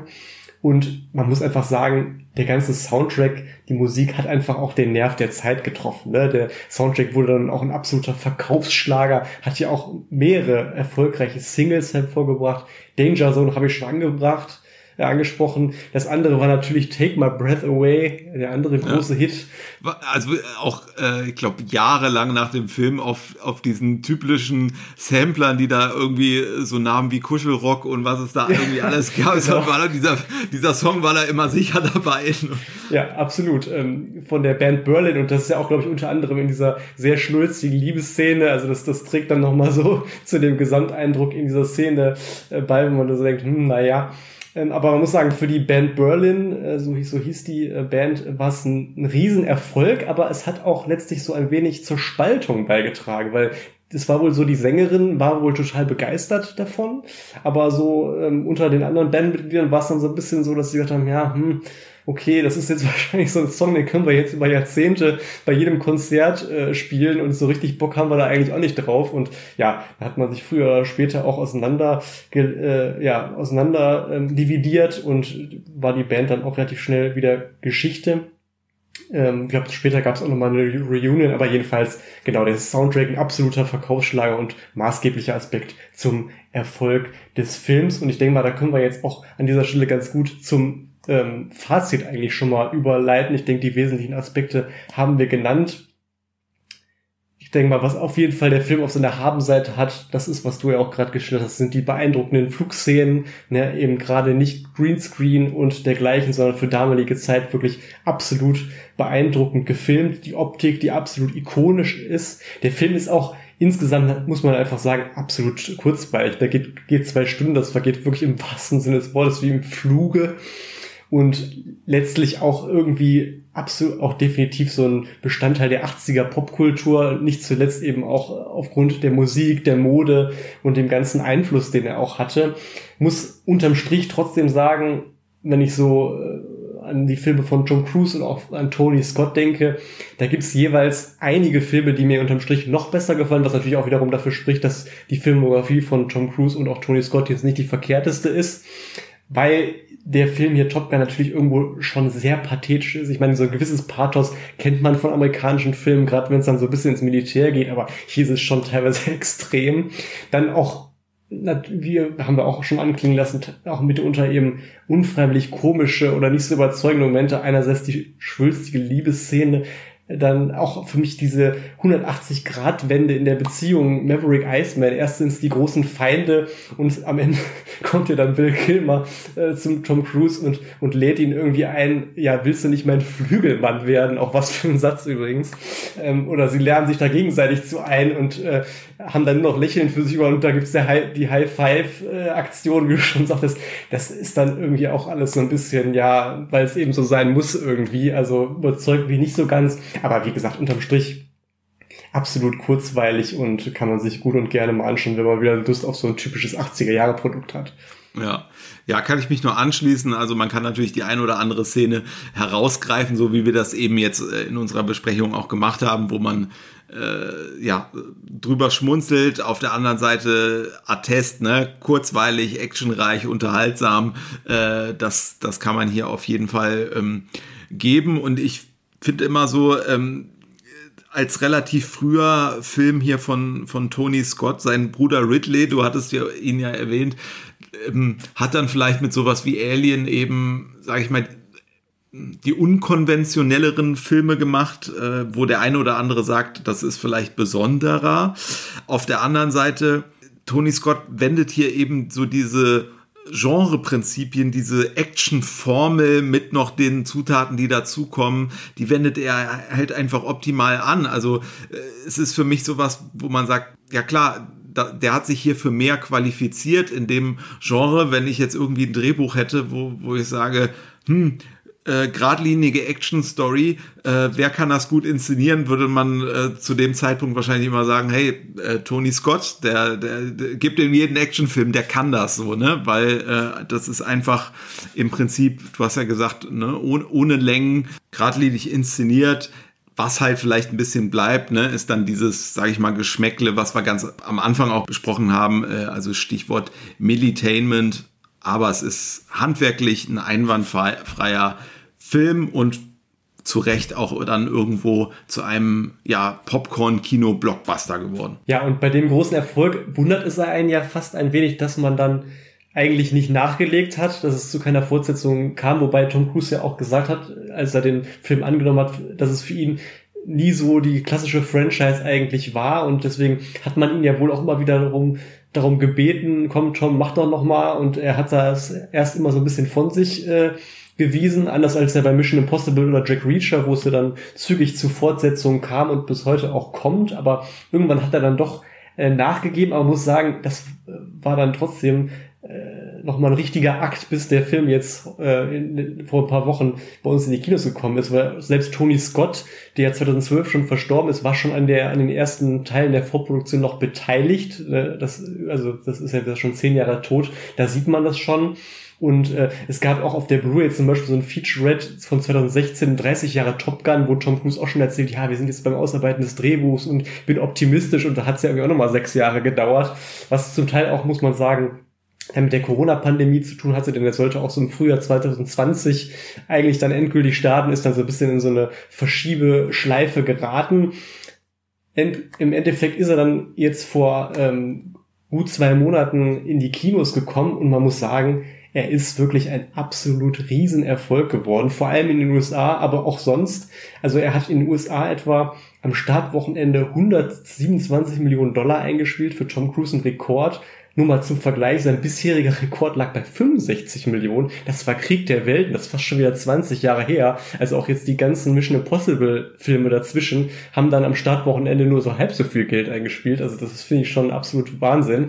Und auch am zweiten Wochenende muss man sagen, sank dann, sanken dann die Einnahmen nur um 29 Prozent, was wohl ein neuer Rekord ist für so einen Film, der am Startwochenende über 100 Millionen Dollar eingespielt hat, was dafür spricht, dass er offenbar eine wahnsinnig gute Mundpropaganda ja auch hatte. Also kommt, wie gesagt, gerade beim amerikanischen Kino sehr, äh, Publikum sehr gut an und hat dann auch nach knapp drei Wochen schon das Einspiel vom letzten James Bond äh, übertroffen, was ich jetzt, wenn man mich vorher gefragt hätte, auch nicht unbedingt erwartet hätte. Also wirklich ein absolut fulminanter Erfolg. Äh, krass, ne? Weil also äh, gerade die Bond-Filme sind ja auch dann immer ähm, sowas, wo man wirklich damit rechnen kann. Äh, die die ähm, führen dann auch in den Jahrescharts, ne? Also selbst äh, Bond-Filme, wo man jetzt nachträglich so ein bisschen sagt, naja, stirb an einem anderen Tag, die sind jetzt schwächer, aber genau. die, das, die haben alle immer, glaube ich, äh, immer äh, den, den letzten übertroffen, äh, was Einspieler Ja, absolute Bank. Ne? Und ähm, wenn man sich jetzt den Film angeguckt hat, wie wir es ja auch getan haben, muss man sagen, ähm, es ist letztlich so eine Art Mischung, also einerseits Fortsetzung, andererseits aber auch Hommage an das Original, also beides gleichzeitig. Ähm, wir haben ja auch gesagt, die ersten Momente des Films, wenn man so die ersten Szenen gesehen hat, dann immer, das könnte jetzt auch einfach eben die Ultra D-Version des 86er-Films irgendwie sein. Ja, total. Also äh, man könnte böse sagen, es ist eigentlich äh, derselbe Film, äh, nochmal mit anderen Schauspielern und so einem äh, 2022 Filter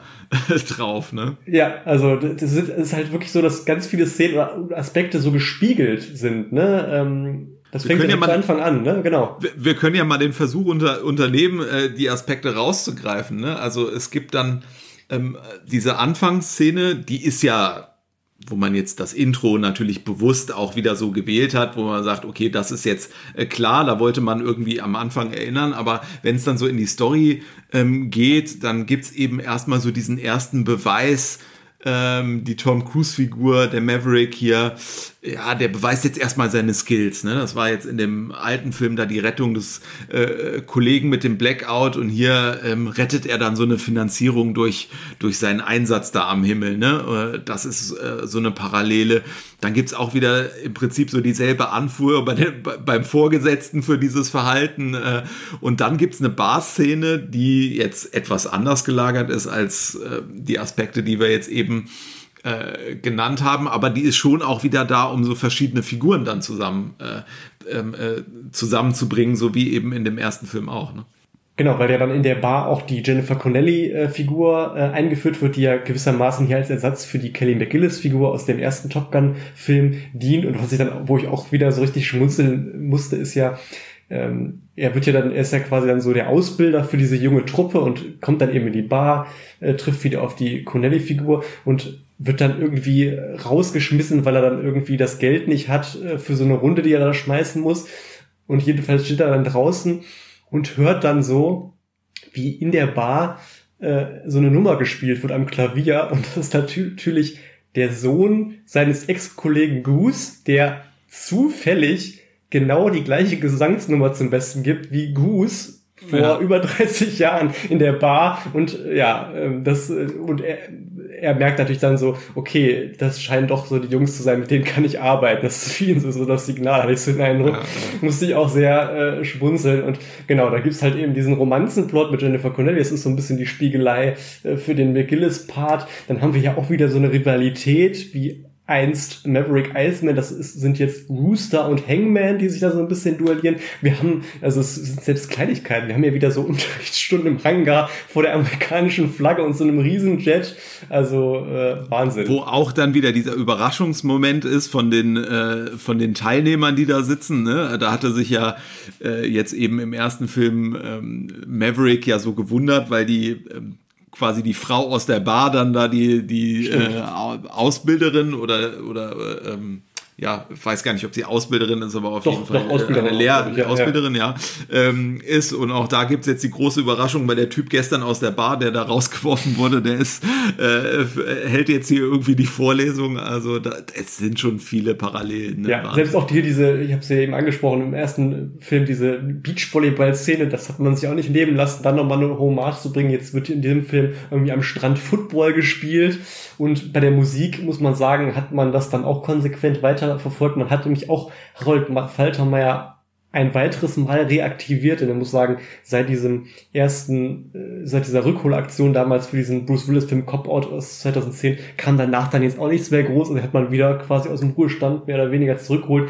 Aber um ganz auf Nummer sicher zu gehen, hat man ihm sozusagen so einen Komponisten, der aktuell hoch im Kurs steht, äh, dazugeholt. Das ist natürlich Hans Zimmer, der auch jüngst bei James Bond im Einsatz war. Auch wieder eine ganz witzige Parallele, weil man ja auch beim James Bond-Film gesagt hat, okay, der hat da irgendwie relativ viel altes Zeug Zeug irgendwie neu eingespielt und so ein bisschen ähnlich ist es ja beim Top Gun Film ja auch wieder. Ne? Man hat viel alte Musik verwendet, aber irgendwie so mit der, äh, mit dem Hans Zimmer Siegel nochmal oben drauf und genau, die Top Gun Anthem von Faltermeier wird natürlich eingespielt. Danger Zone hat man verwendet dann gab es im ersten Film ja auch schon diese Otis Redding-Referenz von diesem alten Soul-Star. Da wird ja dieses Sitting on the Dock of the Bay äh, immer mal thematisiert. Dieses Mal ist der Song Tramp und gut, auf Take My Breath Away hat man verzichtet, das muss man dazu sagen, aber auch da hat man letztlich wieder so ein Äquivalent geschaffen, indem man Lady Gaga zum Schluss so eine, ja, emotionale Powerballade singen lässt, während dann äh, Tom Cruise mit Jennifer Connelly so durch die Lüfte fliegen. Also ja, da hat man nichts dem Zufall überlassen.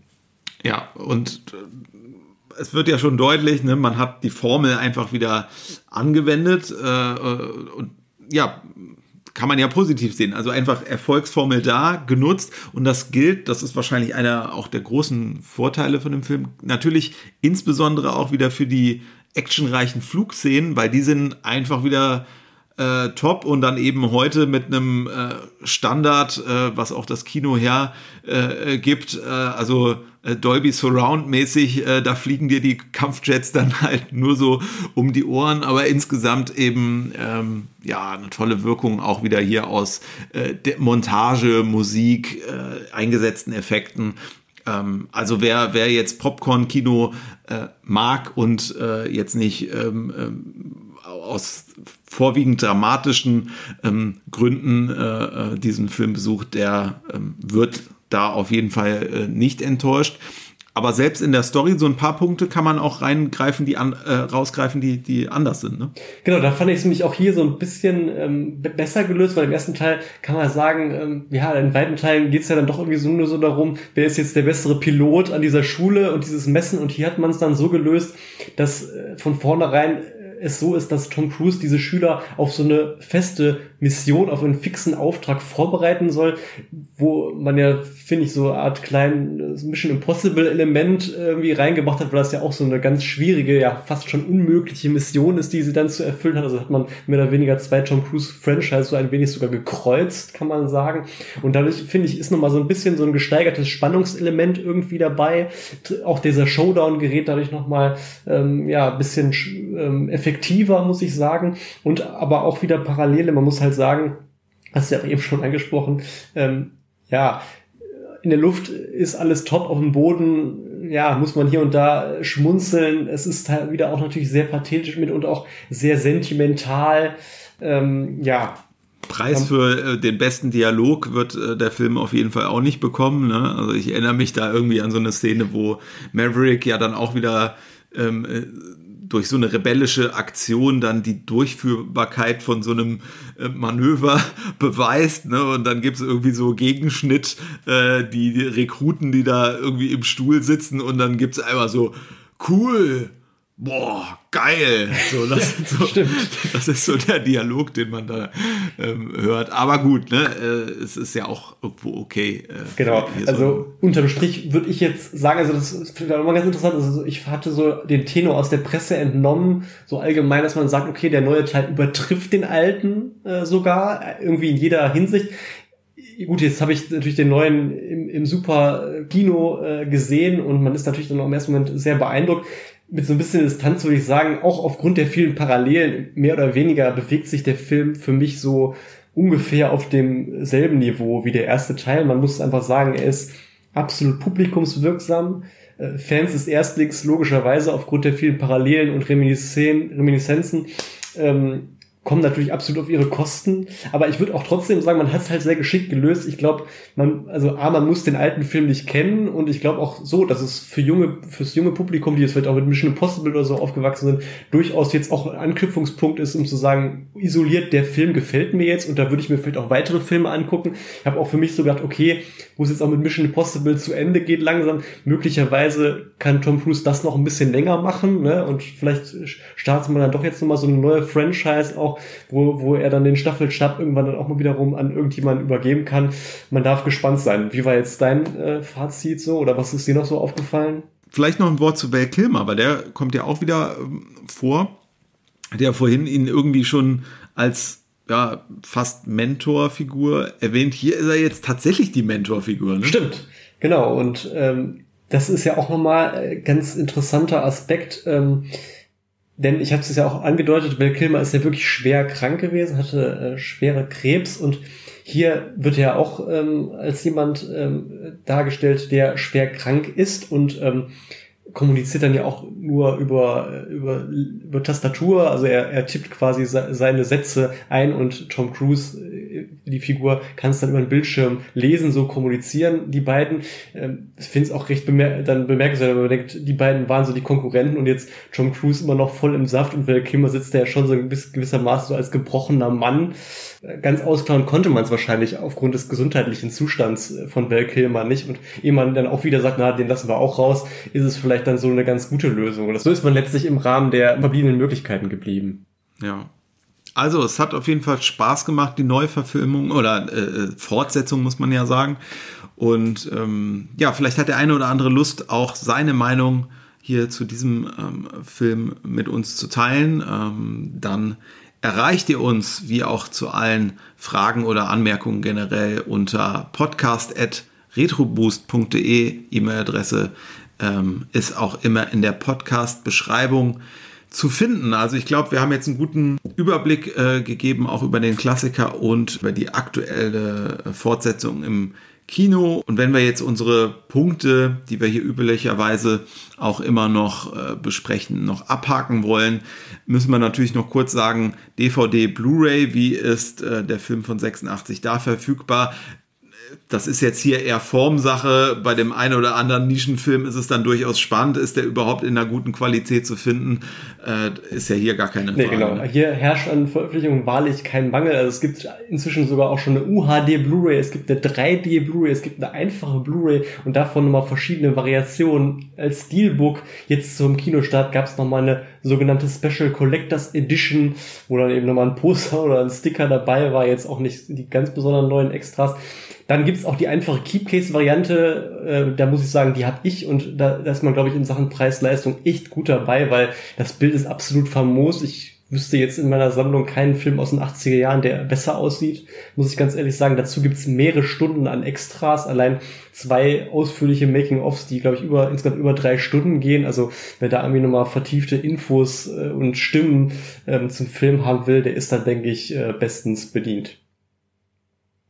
Genau, und dann äh, machen wir sozusagen hier Drehschluss, äh, was Top Gun angeht. Und äh, das nächste Mal haben wir wieder einen ganz anderen äh, Film, also kein Hollywood-Blockbuster. Äh, wir ähm, ja, wechseln wieder zu einer anderen Paradedisziplin von uns ja auch. Wir beschäftigen uns mit einem deutschen Filmklassiker der 60er Jahre und vielleicht hat der ein oder andere ja auch hier schon einen Podcast von uns gehört, wenn es hier um Edgar Wallace-Verfilmungen oder auch Jerry Cotton-Verfilmungen ging. Da haben ja schon die Regisseure Alfred Vorer und Harald Reinl bei uns eine Rolle gespielt. Und jetzt widmen wir uns einem ja weiteren ganz wichtigen Krimi-Spezialisten der 60er Jahre das nächste Mal, nämlich Jürgen Roland. Und da haben wir einem, einen Film von ihm ausgewählt, der, glaube ich, auch ja, so viel kann man schon mal sagen, äh, zu seinen eigenen Lieblingsfilmen dann äh, später gehörte, nämlich vier Schlüssel von 1965. Äh, wer sich da äh, nicht so in der Tiefe beschäftigt, für den ist das vielleicht noch ein echter Geheimtipp. Also wer Lust hat, auch mal auf einen Film, der jetzt im Vergleich zu Top Gun vielleicht nicht ganz das Tempo hat, aber wirklich auch ein äh, toller Kriminalfilm ist, der kann sich diesen Film Vier Schlüssel von 1965 ja auch nochmal anschauen und dann natürlich auch hoffentlich unserer Besprechung hier wieder beiwohnen, die es dann das nächste Mal gibt. Ganz genau. Bis zum nächsten Mal. Tschüss. Tschüss.